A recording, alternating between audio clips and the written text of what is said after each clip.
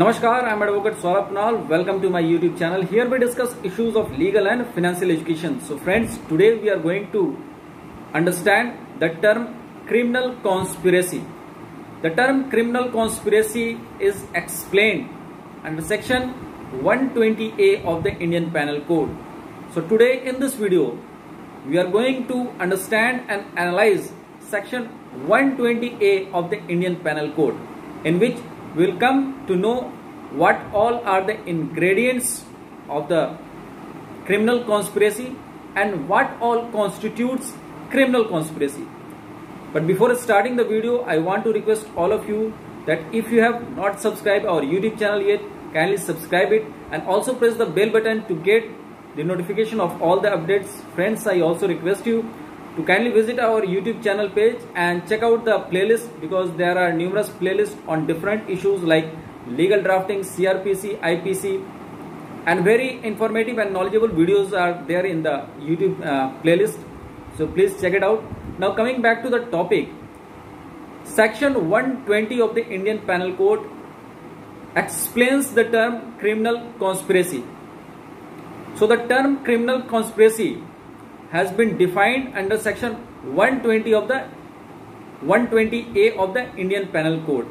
Here, criminal conspiracy is something which is different from the definition of abetment or common intention. A criminal conspiracy is generally done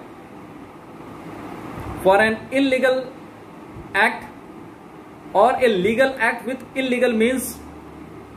But here there is agreement between two parties and they do certain act in the pursuance of that agreement. However under abetment one person encourages another person for an offense.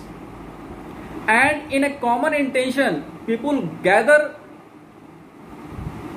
common intention which is given under section 34 people gather for a common intention they agree and they do something collectively.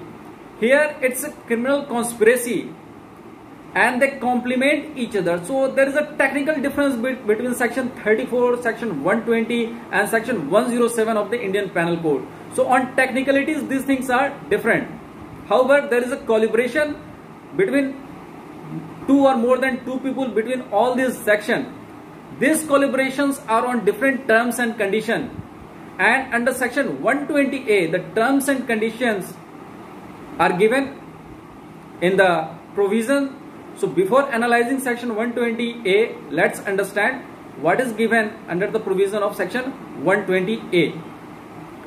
Section 120A of the Indian Penal Code says definition of criminal conspiracy when two or more person agree to do or cause to be done first an illegal act or second an act which is not illegal by illegal means such an agreement is uh, designated a criminal conspiracy.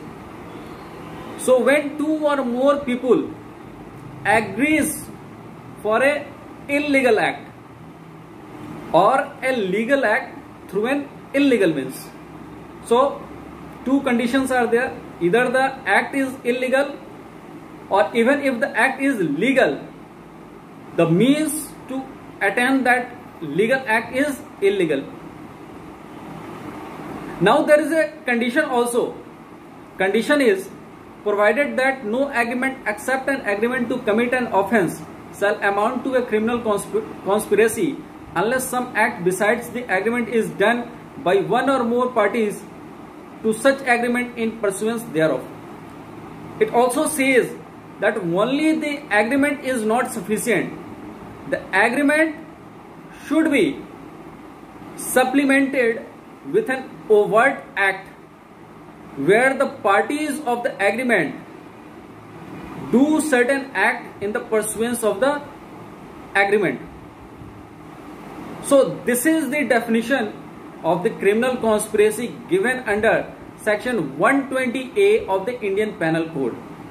So if you like this video, please like it and share it with your friends and colleagues. I'll be coming again with more videos like this. Till then, take care. Namaskar.